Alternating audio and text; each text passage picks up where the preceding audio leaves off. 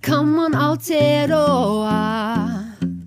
Do something you've never done before. There's a place to explore. Spoiler alert, it's that place she said before. Oh, it's Aotearoa. Do something new, New Zealand.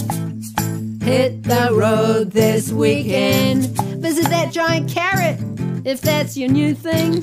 Or climb a mountain and drink a Riesling. Go see the glowworms and hit a cafe. Chuck a bluff oyster and swim in a bay. Jump on a horse and go for a trek. Or maybe just do something inside, like go to a museum or, Or a visit gallery. the giant or... L&P bottle.